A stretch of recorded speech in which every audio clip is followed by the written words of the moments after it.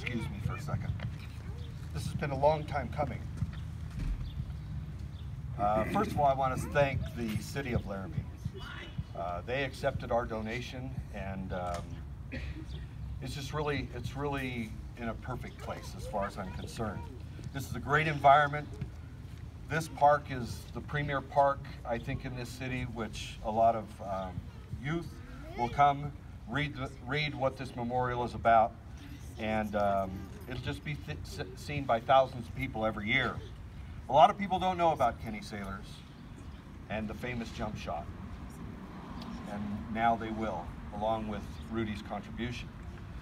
I really want to thank G.E. Johnson, U.S. Engineering, and Domino Construction. I made one phone call to Bailey Miller, and she says, I got this. She says, these guys have done a lot for the university, and they want to do a lot for our community, and they'll get involved. And I got to tell you what, they never batted an eye. I mean, it, it's actually fun to see how giddy they are when we started to put this statue up. You guys are lifesavers for me and for Rudy. And thank you doesn't say enough to you guys for what you've done for us here in Washington Park.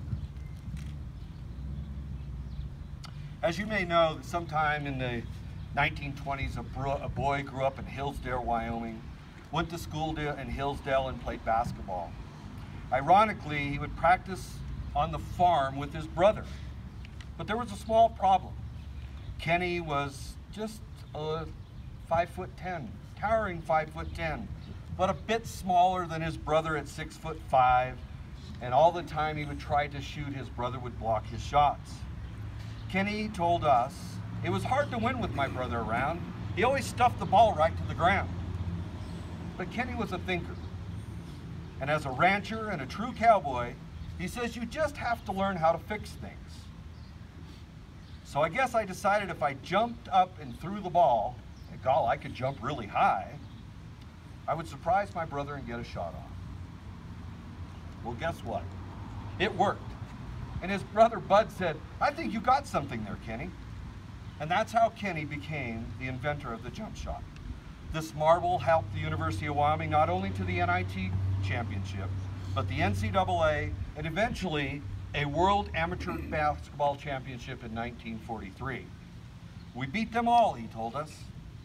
Kenny told me in his career that he played 99 collegiate basketball games, and 66 of those basketball games were on the road. He said it was tough to get to Laramie, so we just had to go to them. He said we beat them all, no matter where we played. My favorite story that Kenny shared with me and my uncle when we were visiting him in 2015 at the Hall of Fame. He told us a story that when they went to Madison Square Garden, and he says, do you know that movie Hoosiers? Where the producer portrayed the legendary coach Norman Dale taking a tape measure and measuring the court and tell, telling the players in 1954, see this, it's the same court, the same height basket, the same foul line 15 feet away. Kenny told us, realistically, Ev Shelton did that in 1943 in Madison Square Garden when we went there. And Norman must have just copied him. I think that's 1954 version of fake news, don't you?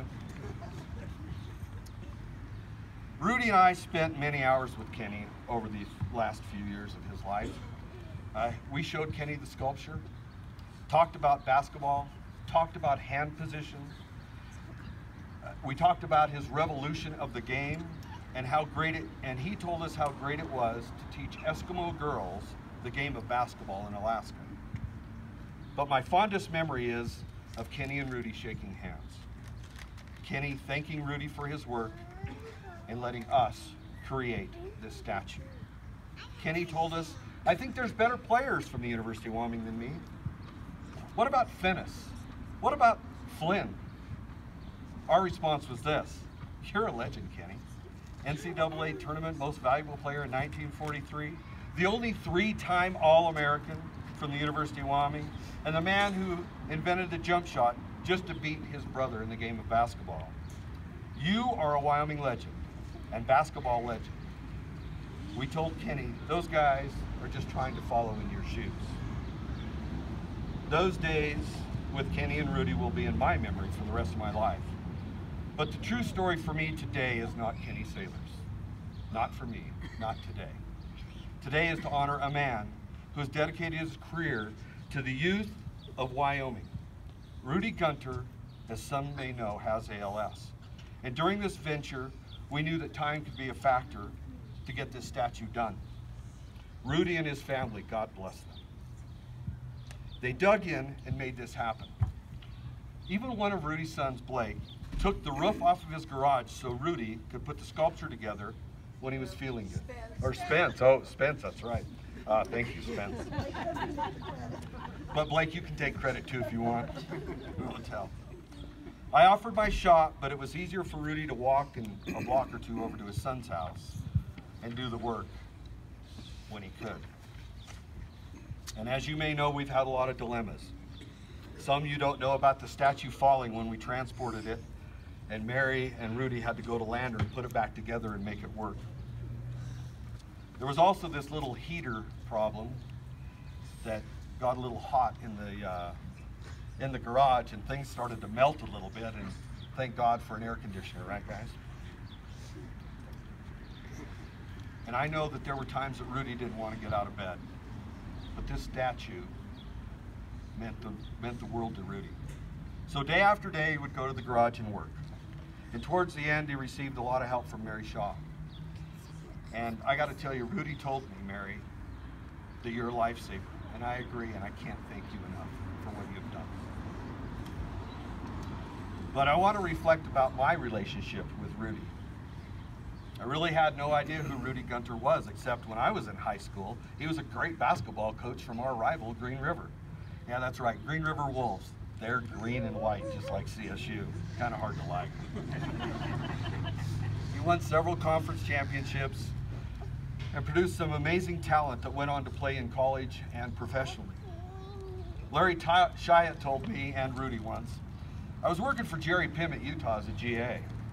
Pimm asked me to Sweetwater County to look at three players, Gerald Matson, Bruce Collins, and some guy named Smith from Green River. Said he went back to Jerry and says, ah, nah, don't worry about them. They're nothing. They're, they're nothing. Don't, they're what we want. But I did remember that he told me that he remembered Rudy and how well coached his team was. Oh, by the way, I think Pimm wanted to fire him after that, after all three of these turned out to be five-star recruits.